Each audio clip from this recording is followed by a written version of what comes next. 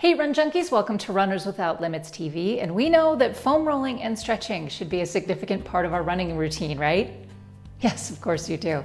But what do these things actually do? Is it for flexibility? Is it for mobility? And aren't those two the same thing? Well, I'm here today to tell you that they are not the same thing by breaking down flexibility and mobility and why you need both. Simply put, flexibility is the ability to bend without breaking. Mobility is how easily and freely something moves. Put another way, flexibility is how much soft tissue can stretch. Mobility applies not just to soft tissues, but muscles and joints, ligaments, tendons. Now that we have those basic definitions out of the way, how do each of these apply to us as runners? And how do we improve each? Let's start with mobility. The most significant aspect of mobility training is the foam rolling or self-myofascial rolling, and it is the first step in preparing our body for correct movement. Now, a quick aside about rolling. While we might often think about getting down on the ground with something like a foam roller, that may not be practical for everyone and their mobility and flexibility status right now. There are a variety of foam rolling tools out there that fall under this category, including massage guns.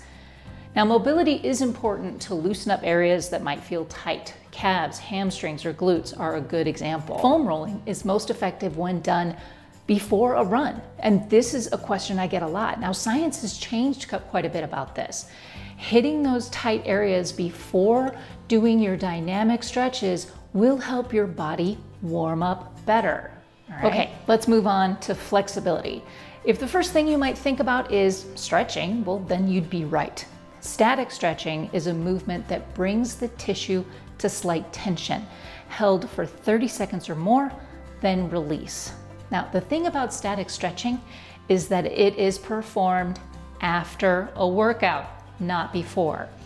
Think of a static calf stretch or a standing quad stretch. Dynamic stretching is done before a run or a workout, but after your foam rolling, and is meant to mimic your body's movements during the exercise in question.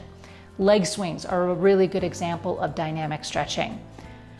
But why are we stretching? Now, as runners, overuse injuries pop up when we're not adequately stretching. Static stretches after a run will help cool down the muscles, relax the tension built up during the workout, and reduce post-workout soreness. Stretching will also improve performance for the next run. The rolling and dynamic stretching beforehand prepares your body for movement, activates the soft tissues. Like I said earlier, flexibility is how something bends without breaking. Dynamic stretches warm up the muscles. If you think of your muscles as like rubber bands, a warm rubber band will stretch more than a cold one, and a cold band might just snap. Conversely, after a run, the muscles are already warm, so static stretching will be more effective, bringing the muscles back to a relaxed length. So here's the order of operations. Rolling or mobility, dynamic stretching and flexibility, then your main workout, then static stretching. Okay? The point of all of this, and the best way I've seen this described, is basically that we're like pizza dough. okay?